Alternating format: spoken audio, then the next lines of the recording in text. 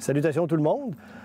Je m'apprête à vous parler d'une technique que j'adore pour pêcher la truite mouchetée, puis qui est souvent très efficace. C'est la pêche au lancer avec une cuillère tournante. En l'occurrence, il y en a deux que j'aime beaucoup. Il y a celle-là ici, la MEPS Aglia, numéro 3. C'est souvent celle-là que je prends.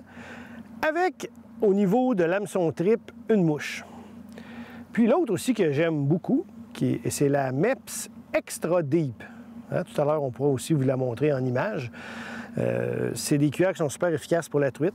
Idéalement, ça va bien fonctionner quand l'eau est, disons, entre 48 euh, et 60, peut-être en forçant jusqu'à 65. Je parle de température d'eau de surface, juste pour vous situer. c'est quand même une bonne partie du printemps puis du début de l'été. Ce que j'aime de ça, c'est que c'est une pêche active, puis on couvre beaucoup de terrain. Hein. Très simple, pas de taponnage avec des vers de terre. On lance, on ramène. Je vous donne un peu un exemple. Évidemment, ici, dans le lac où on était, on est dans la ZEC de Pontiac, le fameux nom de lac que je ne suis pas capable de me rappeler puis de prononcer. Marc-André, peux-tu nous dire le nom du lac? je l'ai tellement dit souvent que je ne me rappelle plus. On vous le marquera. Broad Corb. Broad, Corb. Bon, voilà, c'est un lac aux eaux très claires. Fait que dans ce temps-là, une donnée qui est importante, c'est d'être capable de lancer loin du bateau. Les truites, ils ont peur de l'embarcation. Hein? Fait qu'à ce moment-là, euh, j'aime avoir un fil de petit diamètre, un super fil, que ce soit nano, tressé, fusionné, un super fil de 6 livres de résistance au maximum, 4 livres même, c'est encore mieux. Fait qu'on va lancer, et comme je mentionnais, idéalement un long lancer. Puis là, comme on pêche en suspension, au-dessus de beaucoup d'eau, on peut attendre 5 secondes, 10 secondes, je laisse descendre en chute libre. Puis à un certain moment donné, OK, on commence la récupération. Vitesse, euh, moyenne, je dirais, là. De temps en temps, hop, pause, on la laisse descendre à nouveau. C'est sûr que si on pêche en eau peu profonde, les pauses sont plus courtes. Si on pêche en eau plus profonde, on peut se permettre de la laisser descendre. Puis quand on arrête de mouliner comme ça, ça change l'action de la cuillère. Puis là, elle tombe comme une proie blessée vers le fond. Et voilà! Je suis pris dans un morceau de bois. c'est ça vouloir... Ah, des prix! Ouf! C'est ça vouloir tourner des capsules dans l'action. Il arrive des affaires moins le fun. Mais il peut arriver aussi des captures. Fait qu'essentiellement, c'est pas plus compliqué que ça. Fait que quand on est près des berges, on peut viser. Hein, des postes d'affût de la mouchetée, une grosse roche, un arbre submergé. On va lancer près de ces endroits-là. Ou encore mieux, quand c'est une roche qui est sous l'eau, moi j'aime lancer plus loin que la roche, puis de faire passer mon leurre à côté de la roche. La truite est cachée là à l'affût. Quand la cuillère arrive, boum, à l'attaque. Donc, quand on est, comme en ce moment, en suspension, là, je vais lancer vers les profondeurs. Tiens, disons que j'attends 5 secondes. 1, 2, 3, 4, 5. On commence la récupération. Je garde toujours ma canne basse. Fait que quand j'ai une attaque, j'ai un bon ferrage comme ça en soulevant la canne.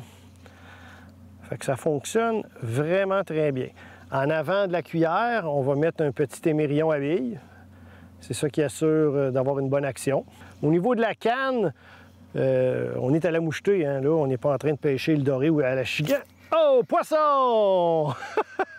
ça, on aime ça. Fait que je pense que vous avez compris que la technique est efficace. je vais ramener une belle mouchetée. J'avais fait ma pause de, 5 secondes, puis j'ai récupéré la cuillère. On va l'amener ici. Tiens, une belle mouchetée. Fort agréable. Étant ici, ils sont combatives. Puis cette technique-là, en passant, est tout aussi bonne dans les lacs où la, truite est, euh, ensemencée que, comme ici avec de la truite indigène. C'est une technique qui fonctionne vraiment dans les deux cas. Celle-là va aller dans le vivier parce qu'elle est piquée quand même profondément. On ne la remettra pas à l'eau, même si j'aime beaucoup faire euh, de la remise à l'eau aussi.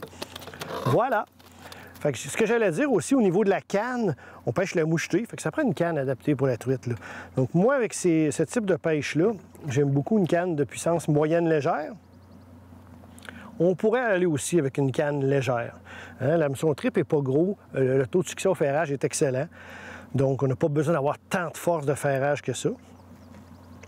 Fait qu'au niveau de la canne, si on la prend d'une certaine longueur, disons entre 6 pieds 8 et 7 pieds 2, ça va nous donner de la, ça va nous aider à avoir de la distance de lancer. Puis euh, on va prendre là-dessus un moulinet pas trop gros qui va bien s'agencer avec la longueur et le poids de la canne. L'idéal, c'est de l'avoir en main, puis on le sent quand notre ensemble est bien balancé. Euh, ça ici, la canne que j'ai, c'est dans la série Trout chez Sainte-Croix. Je suis un fan fini de ces cannes-là. C'est un petit peu plus de sous, mais que de plaisir à chaque poisson. Puis j'ai dessus un, un Fluger Président. Est-ce que c'est un XT celui-là? Non, un Président, taille 25. Ça fait un ensemble que j'adore. Donc, en résumé, une, une, technique pour capturer des mouchetés. Ça peut être près des berges, ça peut être en suspension. Pendant une bonne partie du début de la saison, quand l'eau de surface était, disons, à partir de 48 jusqu'à 60, en forçant peut-être 65, c'est efficace, c'est dynamique, c'est tellement plaisant.